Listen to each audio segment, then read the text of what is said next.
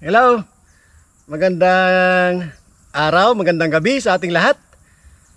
Balik bukid ulit tayo. Yan. Pagkatapos natin sa kabila, ay dito ulit tayo sa ating mini Lakatan Farm. No? Ah, eto. Meron tayong dala-dala rito bagong itak na gawa sa mm, mahigpit. Yan. Gawa ito sa guide bar ng Chenso. Yes. So, kung maghanap tayo ng pinakamatibay, high quality na itak, maganda dyan, kung may mga kakilala tayo na may mga pinaglumaang guide bar ng Chenso, bilhin natin or hingin natin at ipagawa natin sa Panday. Yan. Ah, tayong mga farmer, tuwing pupunta sa bukid, syempre, number one na kasakasama natin ito. Kahit nga wala tayong paggagamitan, pero obligado merong nakasukbit sa atin na itak. Ah, video, video na ito, na in-upload ko din, na kung saan kasama si Luffy, habang ako'y nagtataga ng Madrid Cacao, kung napansin nyo siguro, nakakailang taga ako. Pero talagang mahirap, mapurol yung kawis, panabas na gamit ko. Nakailang hasa na ako doon, pero wala, talagang pangit yung subo ng nabili ko. Hindi ko napansin. Yan, sa mga bibili ng itak, pansinin natin yung subo na maganda para masatisfy tayo sa performance ng ating bibilhin na itak. Nung nagtanong ako, merong kapitbahay na merong guide bar, ayun. Ah, sabi ko, pagawa na natin na itak at bigyan kita ng isa pag nagawa. So ito, bale, apat yung aking napagawa na itak. Yung bakit isa lang? Eh, Kasi ko sabi nung ah, panday, binibili daw nila yung mga guide bar kung mayroong mga nagbabakal bote sa kanila ng mga 200 to 250 pesos isang guide bar. So, so sa guide bar na yon, makakagawa sila ng hanggang apat na itak. O kapag may nagpapagawa, yun yung gagamitin nila at ang presyo ay nasa 750 hanggang 800 kagaya nito. Yan yung video kanina nung pinuntahan ko yung mga itak na nagawa. So, kung taga, kayo ay tiga Aurora Province, mayroon kayong mga guide bar, may mga molye, kaysa bumili sa palengke, no? Pagawa nyo na lang, masusunod pa yung design na gusto nyo. Masusunod yung haba at design na gusto nyo. Plus, meron ka ng sariling hawakan at sariling kaluban kung tawagin sa amin. Makakatulong pa kayo sa kanila dahil si Manong ay medyo may kapansanan na rin palang iniinda. Pasukin natin yung area kung saan sila gumagawa. Ayan. Blower po ang ginagamit namin sa ito po ang switch niya. oh. Ayan, blower na. Ayos, hindi na kinakailangan magpaypay. Mayroon na palang blower. Ginagamit nila dito ay uling na Bao, sir. bao. Uli na bao. Yan, magkano manang yung isang sako ngayon? 250 po, takang Yeah. sako. Yan, 250, mahal. Kaya medyo mahal na rin yung pagpapagawa Opo. dahil mahal yung uling. 250 pesos na dito sa Tahina po ito. Amin. Punong-puno. Puno po ito, sir, kanina. Dasik na dasik. Ito naman yung Yan po, pinipit-pit yung ah, dito pinapanday. Ito po yung maso na ginagamit namin pag pagka ma makapal. Yan, Kiwis ato iti mayat nga uh, kwalandok kiwis. solid. Ato iti spring na kunada. Oh, ito, coil spring ng sasakyan. Ginagawa pa niya Yeah. samurai yan, sir. May samurai ka dito ginawa kaso hindi na natuloy. Pwede ring paggawang kawis, samurai, itak. Talagang kumpara sa po. mas matibay pa yung itak na magagawa dito kasi solid yung pagkabakal. Binibili namin sa nagbabakal pag kayo kan sinaswap niya. Yung scrap. Kukunin niya yung scrap tapos ipapalit niya yung mga yan. Pupuno kami ng kunting pera. Ang hintab na po dati ito, kaso eh, pinabayaan niya. Wala kasing sangga na stainless na ganito na makapal. Order nila yan. eh, alam yun kung pulis o sundalo yung... Manumot ko maday to yan, ti presyo na. Ay, 2.8 sir. Ay, 2.8 sana. Nakaluban na. Kompleton. Well, nasilap ah. Nanikal, nikuling na tayo. So, dito, ilan naman anong yung magagawang gulok dito pag ito yung ginawa? Pwedeng pag-apatin ito dahil uh, mahaba na na uh, natin yan. Yung apat na yan. Ah, apat na ganto, kahaba. Mas maiksi. Mas maiksi. Mas maiksi dito. Konti. Hahatiin sa apat pala ito.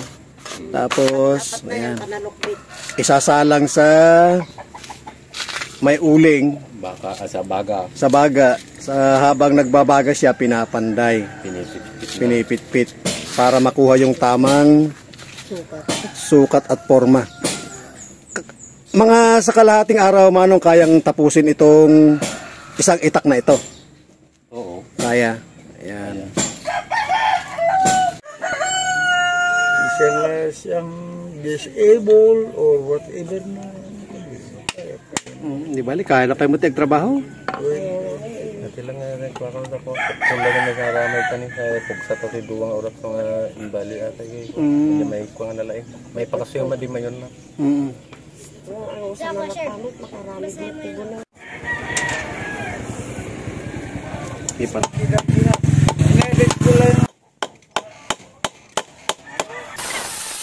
Mas maganda na ngayon gumawa dahil marami ng gamit.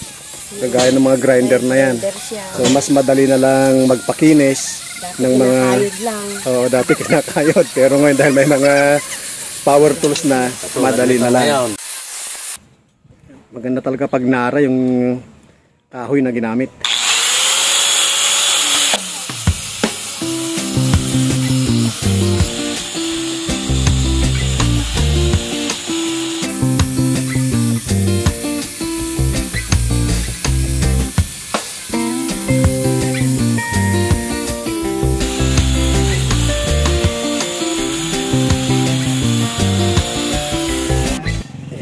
Lalagyan na lang daw ng ipuksi. epoxy sa gitna para mas matibay.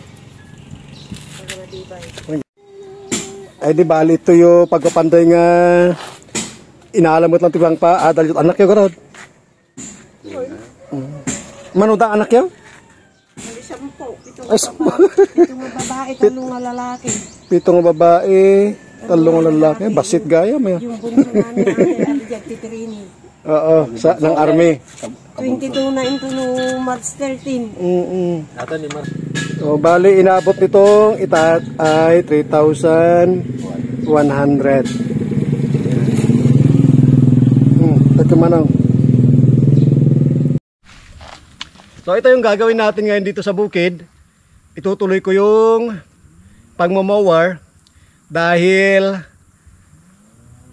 marami-rami na tayong pwedeng kunin na mga pananim pagkatapos nating maani ang mga lakatan na ito. So, hindi kasi pwedeng kuhanan ng mga followers itong mga may bunga na to kasi masasaktan yung mother plant. So pagkatapos nating tibahin, yan, marami na tayong itatransfer dito sa nililinisan ko na area na ito.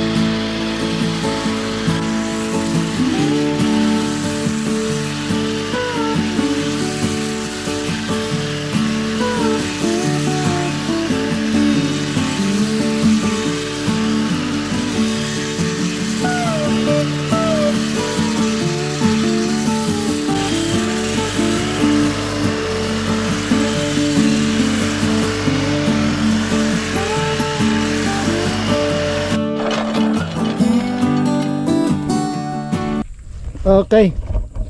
So 30 minutes na pagmamawar. Ito yung nalinisan natin. Mas mabilis dahil bagaman makapal yung mga damo, mas mabilis dahil walang mga bato-bato. Yan. At malaking tulong to kung may bato man. Itong mga nabibili natin na face shield noon. Yan. So, ang ganda nito. Kahit tumalsik sa atin na aksidente yung mga bato o mga lupa ay hindi malalagyan yung mata natin. Uh, rest muna saglit. Then, mamaya ay bira ulit tayo. Merienda muna tayo. Merienda ko ay saging na lakatan syempre.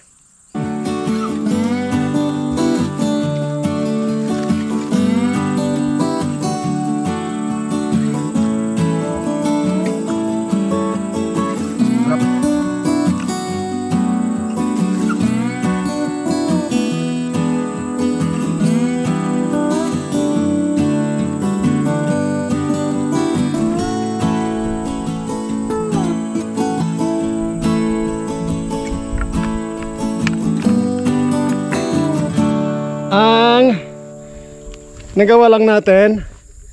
Yan mula dyan. Dito. At dyan. Natitira na lang. Ay ito. At sa paanan. Kayang kaya na yun bukas ng hapon. Okay lipat tayo sa huli nating activity. Maiwan muna yung grass cutter natin dyan at dyan lang tayo pupunta sa kabila.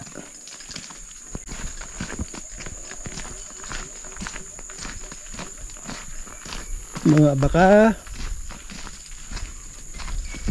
Malinis pa rin. Ayan dito tayo magtatanim saglit bago umuwi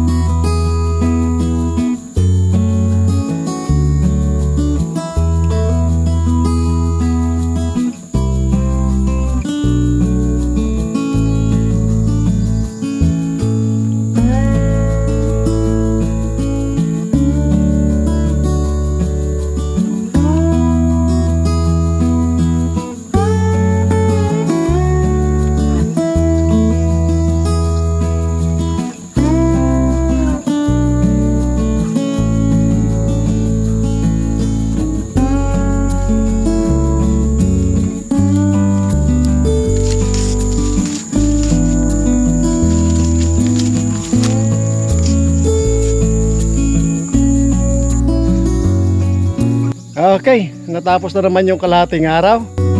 At kahit paano, mayroon tayong accomplishment. Maraming salamat po muli sa panonood. God bless at mabuhay po tayong lahat.